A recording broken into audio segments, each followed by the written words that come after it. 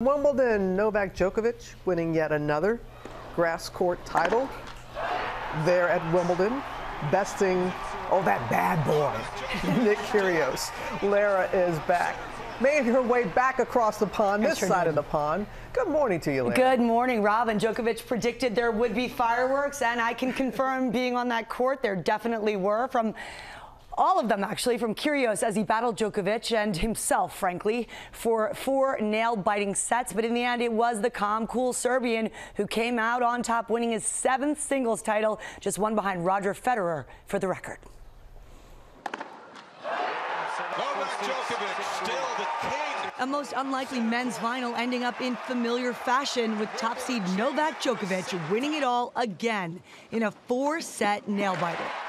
The Serbian superstar facing off against red hot 27 year old Nick Kyrgios, who is playing in his first Grand Slam tournament final and making quite the impression, showing off his unique moves with a rare underhanded serve, even throwing in a tweener there.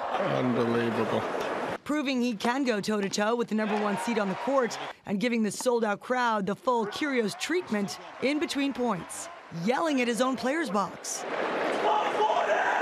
shouting at the ump, asking to have a fan removed for being drunk. The star-studded center court filled with fans like Tom Cruise as well as Prince William, Kate, and their eldest son George, who watched from the royal box. And afterwards, the royals met with Djokovic, who let George hold the trophy.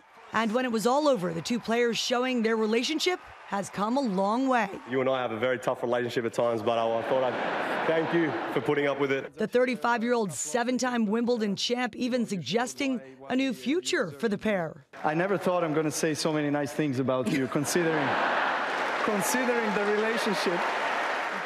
Okay, it's officially a bromance. All right really is. It is now a bromance. Djokovic said the pair even had a dinner bet on the match. Winner pays. Unclear, though, when he'll be able to settle that. Does not look like the two will meet at the U.S. Open. Djokovic is unvaccinated, and unless U.S. vaccination policy changes in the next month, he will not be playing at the U.S. Open. And many people are wondering if there will be a change mm -hmm. because he was unable to play the first the, Grand Slam. Yep, the at the Australian. Did you have a good one. time? Does the voice tell you? it was fantastic. Good to have you Great back. assignment. Thanks, Lara. Well, hey there, GMA fans. Robin Roberts here. Thanks for checking out our YouTube channel. Lots of great stuff here. So go on, click the subscribe button right over, right over here to get more of awesome videos and content from GMA every day, anytime. We thank you for watching, and we'll see you in the morning on GMA.